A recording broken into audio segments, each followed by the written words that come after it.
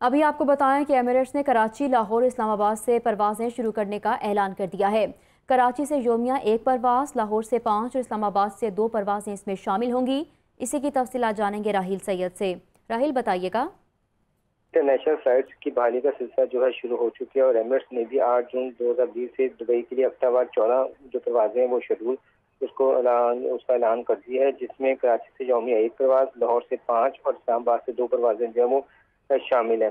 इस हवाले से ये भी कहा जा रहा है कि एमरेट्स से परवाजें मुतहदा अमर अमरात के शहरियों के साथ कार्गो भी दुबई लेकर जाएगी और इस हवाले से बाकायदा तौर पर जो है, एमरेट्स की जानब से शेड्यूल का जो है वो ऐलान कर दिया है।